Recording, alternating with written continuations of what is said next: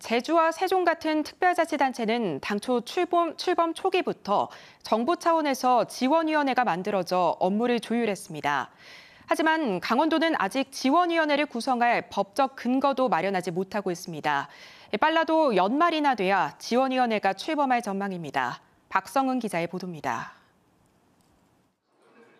지난달 23일 발의된 강원특별자치도법 개정안 두 개입니다. 국민의힘 노영호 국회의원과 더불어민주당 허영 국회의원이 발의했습니다.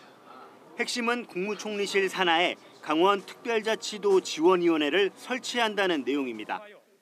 여야가 같은 날 같은 목소리를 낸 겁니다. 지원위원회는 규제 완화와 정부의 권한 이양 등 자치도 출범을 돕는 조직입니다. 지원위원회 설치가 급선무입니다. 만약에 지원위원회 설치가 되지 않는다면 저희 도가 직접 관련 부처들을 상대해야 되기 때문에 강원 지원위원회의 설치는 지금도 많이 늦었습니다. 같은 특별자치단체인 제주와 세종은 당초 자치도법 제정 단계에서부터 지원위원회를 설치하도록 했기 때문입니다. 하지만 강원자치도법은 선언적 문구만 있었을 뿐 지원위원회 설치 같은 알맹이는 없습니다.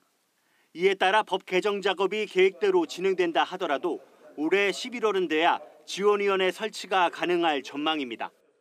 법안이 통과가 돼야지 우리 또 강원도도 다른 일들을 또 이렇게 진행을 할 수 있으니까요. 그냥 최대한 빨리 저희가 법안이 처리될 수 있도록 노력해 보겠습니다.